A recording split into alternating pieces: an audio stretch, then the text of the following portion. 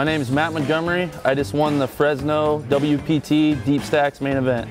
You know what? Going into today, I kind of like my table selection. I had I had all the all the deep stacks to my right, short stacks to my left, um, which wasn't necessarily a bad thing. Made made a misstep early on. Uh, made a three bet that I probably shouldn't have. Um, ran into aces, but we were able to get it back. Just just got to stay focused. Um, just kept it going. Had faith. So and, and we got there. I, th I, think once we got shorthanded, that's kind of my uh, that's my forte. That's kind of my specialty is shorthanded play.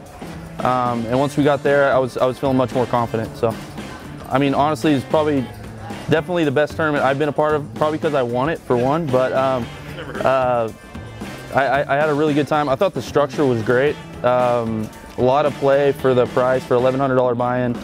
Um, Club One, I mean, they did a great job. You guys did a great job all in all, um, great experience.